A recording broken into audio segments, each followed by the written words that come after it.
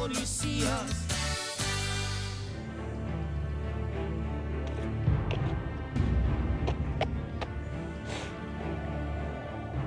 Víctor Casillas. Chacorta.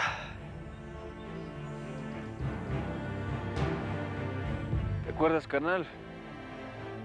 ¿Cuánto trabajo me costó aprender a leer? y tú siempre me echabas carrilla que porque me iba a estudiar con el letrudo todos los días.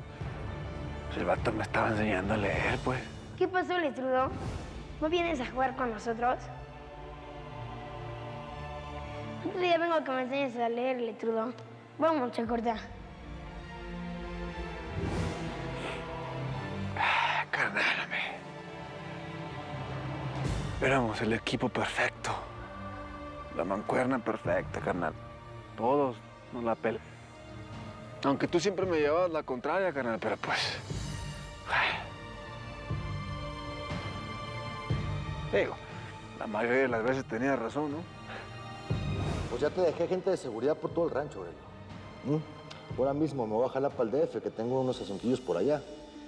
Y de ahí pues me voy a Sinaloa, porque pues tengo que atender mi ganadito. Ya, y esa morrita te trae bien agarrado de aquellito, ¿no? Mira, te trae cacheteando las banquetas. Qué bonito, hombre. Pues para qué te digo que no, sí, sí, hombre. ¿Y cómo te fue por allá?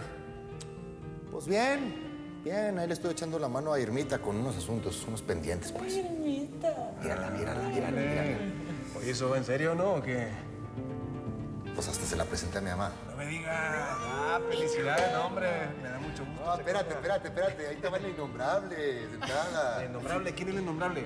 Ay, Matilde. La Matilde. Sí, ahí estaba la pobre, mira, se le cayó la quijada cuando me vio entrar con la Irmita, güey. La incómoda. Mira, carnal. A ver si te digo que te equivocaste con esta morra. Esa morra te hizo tanto mal que mira hasta dónde te trajo. No te va a gustar mucho la decisión que voy a tomar, pero pues no me queda de otra. Tú tranquilo y yo nervioso.